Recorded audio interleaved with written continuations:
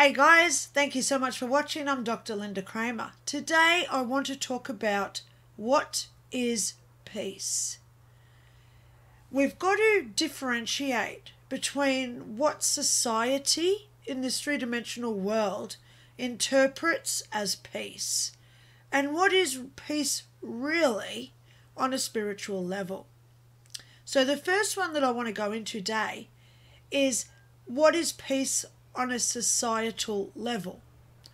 When we're in society, and if we look at dictionary.com, peace is a tranquility that's formed from when there is no disturbances, wars, or other disruptions to how we operate in our lives. But is that really what the interpretation of peace is actually all about?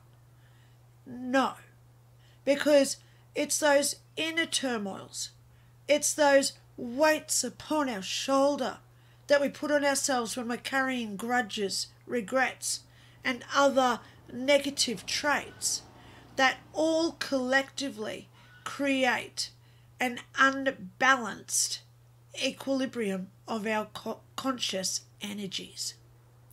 So, what I want to talk about today is how do we acquire spiritual peace? First of all, we must understand what it is. Because when I died in 2001, I knew what peace was. As I floated above everybody else in the house, because that was my celestial or soul energy, because my dead body was three rooms away in the toilet what I felt then was nothing. Because balancing out that cosmic energy of our consciousness is what creates peace. Peace is when we do not get emotionally affected by what goes on around us. We don't get triggered. We don't get upset or we don't get happy as a consequence or a reaction to what has been done. An event, an occurrence, situation. Words from a family member can trigger us to have this emotional outburst. Yeah? So when we find peace, it's when nothing disturbs or disrupts our cosmic energy. We are flatlined in respect that we don't have any upwards or downward energetic reactions to what is being done to, for, against, or with us. Big words from Lynda today, so let's go into an exercise. Think of the last time that someone said something to you and you got angry, you got frustrated, or you just thought, ugh. We've just all been through Christmas. I'm sure you've all got a relative that you don't want to know at Christmas, like we all do. How did you react to what they said? Because when we find that inner peace, whatever they do to us, it can't affect us anymore because we are peaceful, peaceful, peaced out. And we are so calm that nothing matters to us. Okay? I had a male friend about a year ago, and he said to me one day, he said, Do you care at all about me? And I said to him, I actually don't care at all what you do. Because the way I meant it was I accept him for who he is, what he is, all his idiosyncrasies, characteristics, personality traits, etc. And I don't care because I understand He's got his own free will, he's got his own decisions, he can make up his own mind on what he wants to do. and he certainly never needs my permission to do it. So why would I get upset or depressed or even happy about what he wanted to do? Because when I was with him, it was peace. It was tranquil. It was calm. It was so cosmically aligned that there was no disruptions on that energy frequency that could interrupt how I felt. He took it offensively. He reacted extremely badly, attacked, abused me, to the point where he told me to F off, I never want to see you again. Because he could not fathom the depth of what I'm talking about with peace. And I hope that you guys are understanding this. Okay? So, was I upset that he left? No. Because I believe people can do what they want when they want it. Okay? It's only how I react to it is how I get my own affectedness of my own emotional involvement to what they've done. Okay? So when we look at peace and we're trying to understand what it's like in heaven because there's so many NDEs that say, oh, it was so peaceful. What are they really talking about? It's talking about that cosmic realignment of energies where we don't have grudges, we don't have issues, we don't get offended. We don't accuse, we don't judge, we don't have insecurities, we, we don't have overconfidence issues. We don't have any emotional attachment to what is going on. Why is it so important now to want to have peace? Because every single person out there, I shouldn't say every single person, most of every single person out there now seems to be getting offended, judging. They feel privileged. A man pushed me out of the way the other day. I was walking through a doorway. He pushed me out of the way so he could go through first. I looked at him and I said, saying excuse me wouldn't wouldn't what did I say? Saying excuse me um, um, wouldn't hurt. And he looked back at me like, Ugh. But then why did I even judge him anyway as to why he just ran straight through the door? He could have had a medical emergency where he's just found out that his mother's had a heart attack. She needs her something from Woolworths. So he's got to go and get that to take it to the hospital so she can put it on or whatever.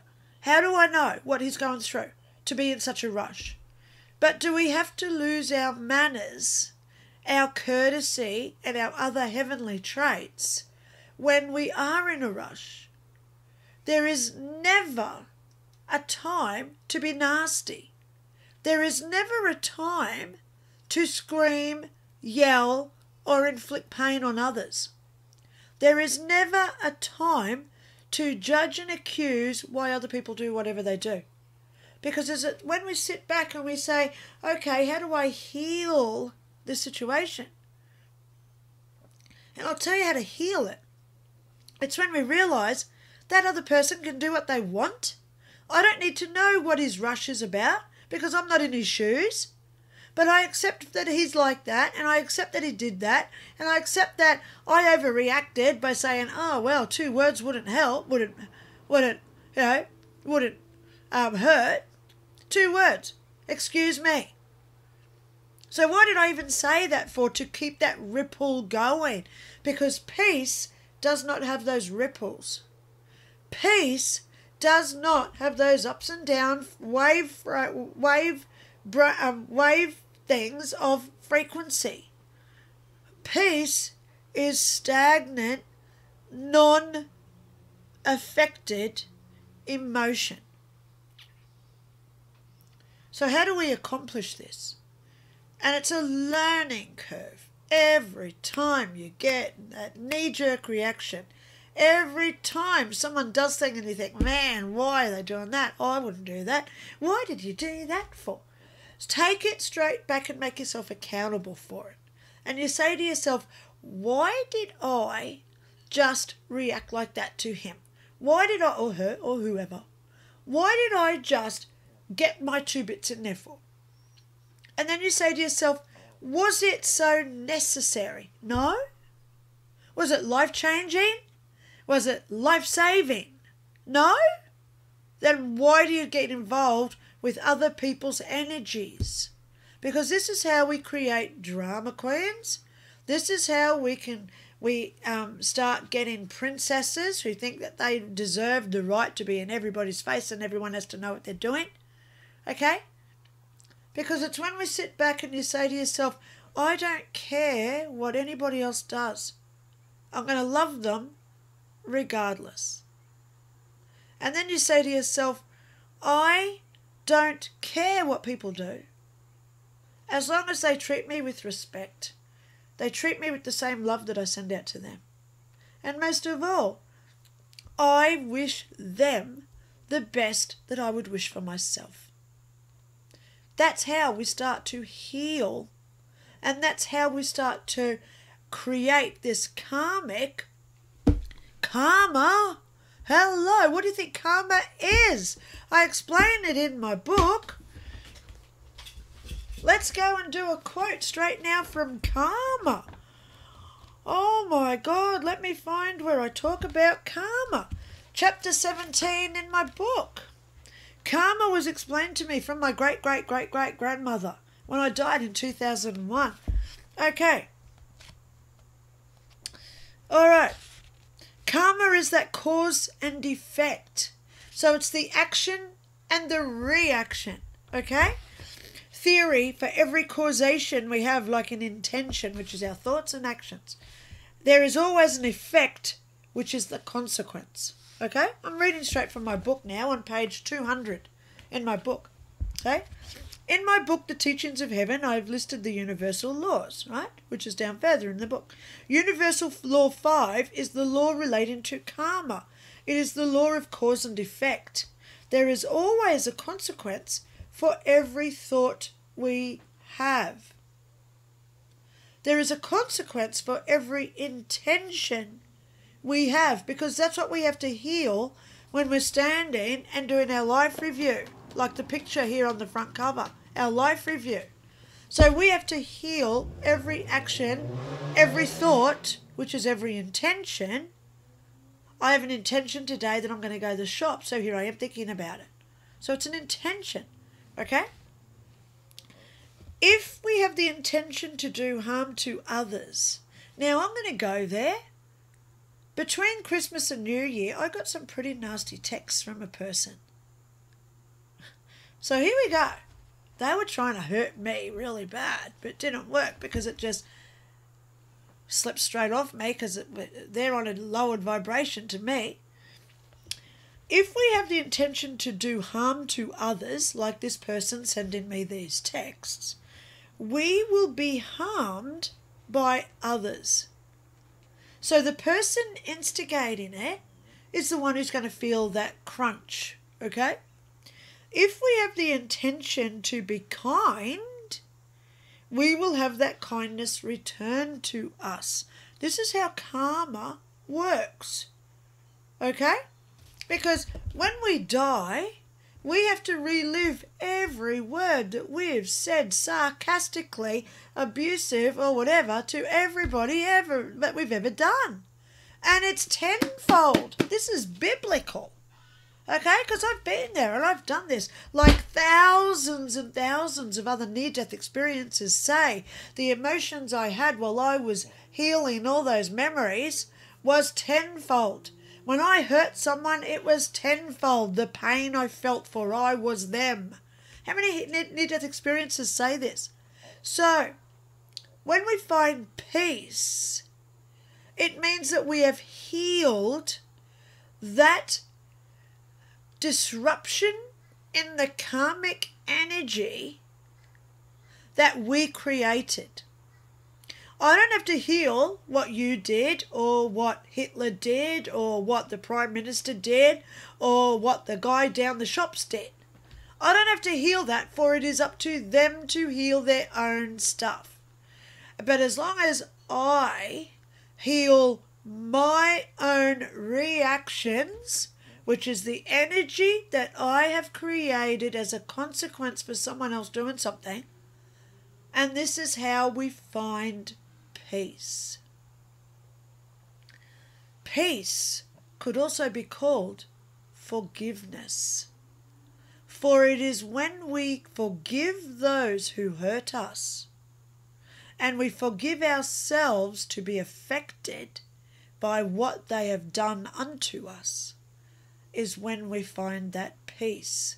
For the energy associated to those emotions no longer exists. And what that means is that the heightened emotions of anger or fear no longer exist because it returns to the energetic plane of peace. If you've liked this today and you wish to donate, my link is below to donate towards my cause if you've learnt something. If you think there's somebody, someone like who texted me maybe, and they need to hear this, please share this video with them. Okay? And if you've got any suggestions of future videos of things that you do want to hear about, please email me below and let me know future topics that you wish for videos. This video today would not be able to be done without Be in America. Thank you so much to Be in America for giving me the idea to do a video about peace. Peace to everybody. Think about what it means. Watch catches next time. Bye.